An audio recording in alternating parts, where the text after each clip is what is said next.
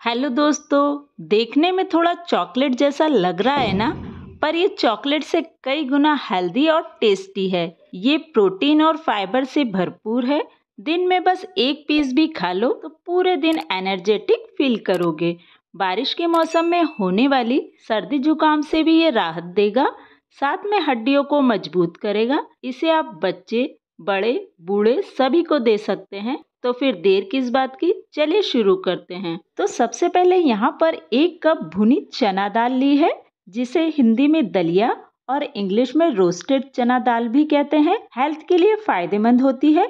इसमें फाइबर और प्रोटीन भरपूर मात्रा में होते हैं। ये डाइजेस्टिव सिस्टम को भी मज़बूत बनाती है, पोषक तत्वों से भरपूर होती है। तो इस दाल को हम डालेंगे मिक्सी जार में। और यहाँ दाल का हम एकदम फाइन पाउडर बनाकर तैयार कर लेंगे। तो देखिए, यहाँ पर हमारी दाल का फाइन पाउडर तैयार है। अब इसे हम रखेंगे साइड में। जब तक हम एक छोटी सी तैयारी कर लेंगे, उसके लिए एक भगोनी को हम गैस पर चढ़ा देंगे और उसमें डालेंगे एक कप पानी। साथ ही पानी में डालेंगे एक कप गुड़।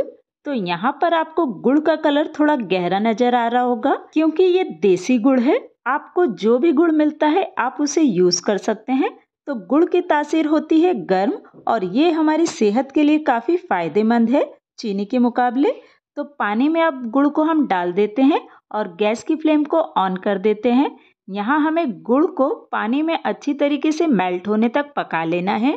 तो गुड़ यहाँ अच्छी तरीके से मेल्ट हो चुका है और इसमें एक उबाल भी आ चुका है। यहाँ गैस की फ्लेम को हम करेंगे बंद और एक पैन को गैस पर चढ़ा लेंगे और उसमें डालेंगे तीन छोटे चम्मच घी। तो यहाँ हम हेल्दी बना रहे हैं और वो टेस्टी भी होना चाहिए। घी हमारा जैसे ही मेल्ट होता है तो इसमें हम भुनी चना दाल के पाउडर को डाल देते हैं और अब गैस की फ्लेम को लो रखते हुए इसे लगातार चलाते हुए भून लेते हैं।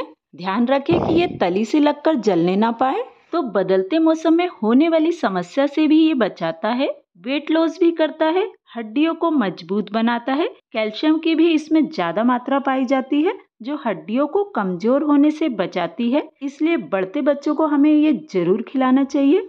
हार्मोन्स को बैलेंस करता है, कमर दर्द और तनाव को भी दूर करता है। तो हल्का सा कलर चेंज हो गया है और ये घी में बहुत ही अच्छी तरीके से भुन चुकी है। तो अब इसमें हम गुड़ के सिरप को छानते हुए ऐड कर देंगे।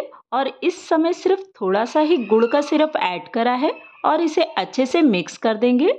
इसे यहाँ हमें बहुत ही अच्छे से मिक्स करना है। इसमें कोई भी लम्स नहीं होने चाहिए जब तक कि इसका क्रीमी टेक्सचर ना आ जाए। तो यहाँ पहले डाला गया गुड़ का सिरप चना दाल ने अच्छे से सोख कर लिया है तो हम बचे हुए गुड़ के सिरप को भी छानते हुए फिर से ऐड कर देते हैं। तो छानने से यहाँ गुड़ के सिरप में जो भी गंदगी होती है, वो निकल जाती है। तो अब इसे हम लगातार मिक्स करते हुए लो फ्लेम पर ही पका लेते हैं। जब तक कि ये शुगर सिरप चना दाल पूरी तरीके से सोख नहीं कर लेती और ये अच्छे से गाढ़ी नहीं हो जाती। और इसे हम लो फ्लेम पर ही पकाएँगे। लो फ्लेम पर पकाने से इसका टेस्ट बहुत ही ज़बरदस्त हो जाएगा। तो गुड़ और चने का कॉम्बिनेशन बहुत ही ज़बरदस्त है। इसका यूज़ हमारे पूर्वज करते चले आए हैं। तो यहाँ ये डो के फॉर्म में आ चुका है। अब इसमें हम टेस्ट के लिए डालेंगे कुटी हुई इलायची और इसे भी अच्छे से मिक्स कर देंगे।